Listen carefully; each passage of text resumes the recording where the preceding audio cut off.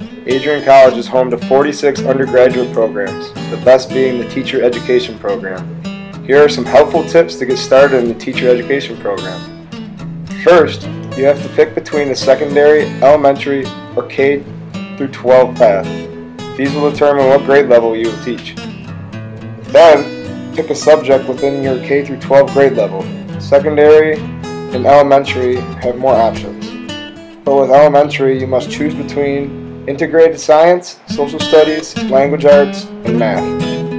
Enroll in teacher education classes and choose an advisor that is knowledgeable in your grade level. Complete 200 observation hours before your student teaching experience.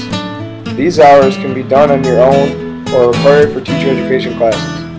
Finally, we have a great staff always willing to help with whatever you need inside or outside of class.